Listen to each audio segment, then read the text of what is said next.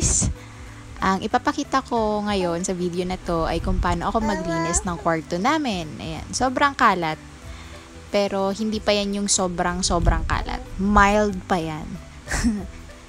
Ayan. So, marami akong gagawin. Ang dami talaga. Mag-organize pa. So, bago mag-start, sana huwag niyong kalimutan mag-subscribe and like and share. Thank you!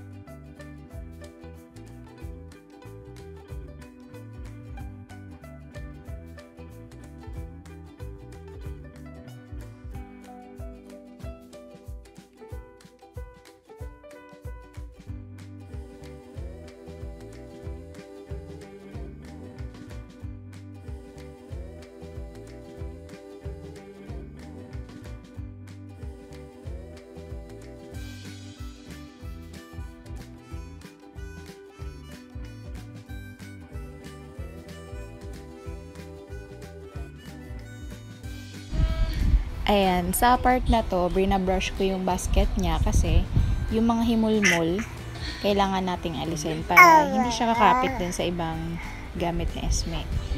Ayan. Kung naririnig niya siya sa background, andito siya kasama ko siya nag-voice over.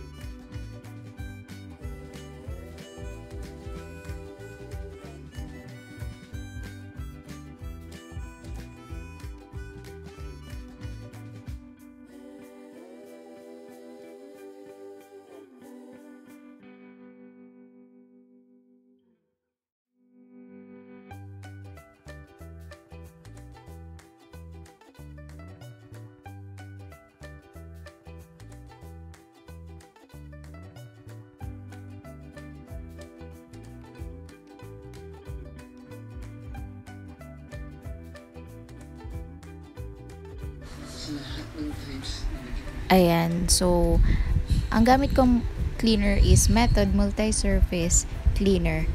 Galing siyang ibang bansa and pinadala lang siya sa akin ng mother-in-law ko.